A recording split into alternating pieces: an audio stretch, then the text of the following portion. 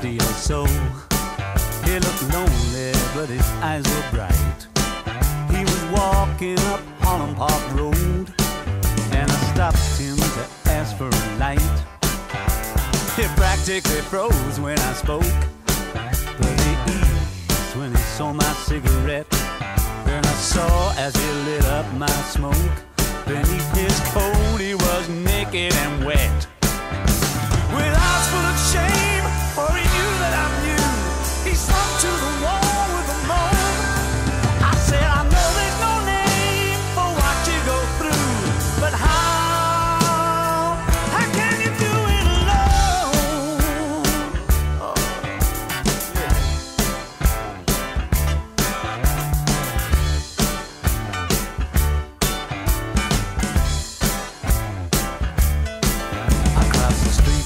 Local news store and flicked through some cheap magazines.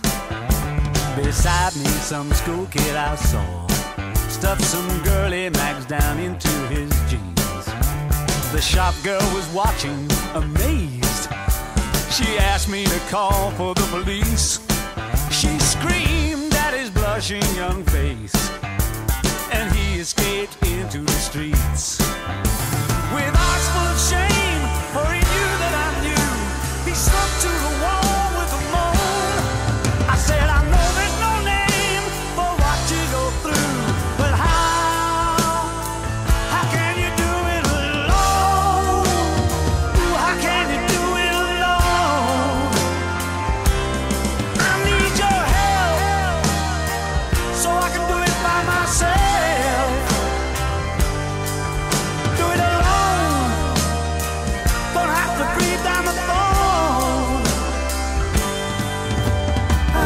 a clue about the things that you do, but how can you do it alone?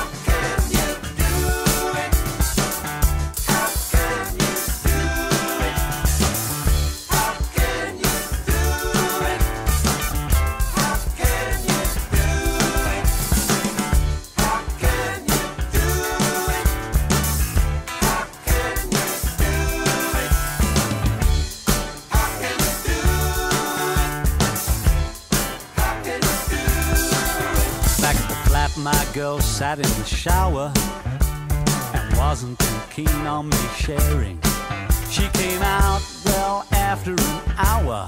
and By that time, I was past caring. Some women, it seems, have a knack of attaining the stars in their dreams. They simply relax and lay back while people like us scratch our jeans with eyes full of shame show.